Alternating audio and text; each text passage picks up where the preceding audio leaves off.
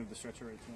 Bravo, one, line six, Papa, Yeah, we- we line can- seven,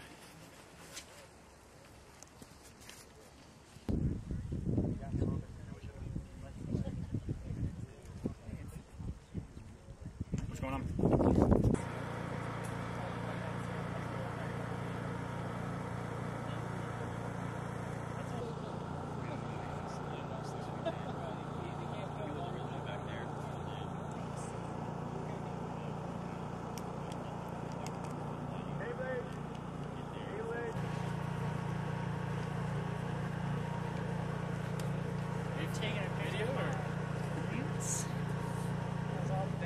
Manziel right here. I think this is going to be Russell's, right? Is that what we decided?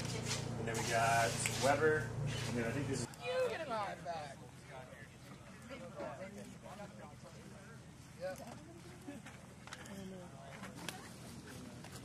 So would you end up having to use the person, person? bended and locked out. That is the hard part. You don't want to use your hands. You want to use your feet. Okay. So, um, right. So they'll be on you. Right. Prepare to lift. Lift. How much do you? Normally, thirty, maybe two twenty. But divided by four, I don't know. It's higher for everybody. So from here, um, we'll just walk. And people in the front are usually the guide. So prepare to lower. Lower.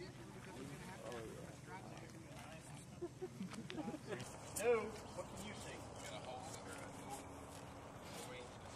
Corner fed room over here, and then finally, once I reach the point of exhaustion here, I've got a corner fed to our left.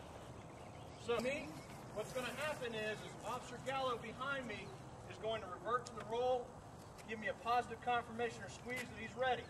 For us would be a dip down, or for him, my sling setup's not set up for this.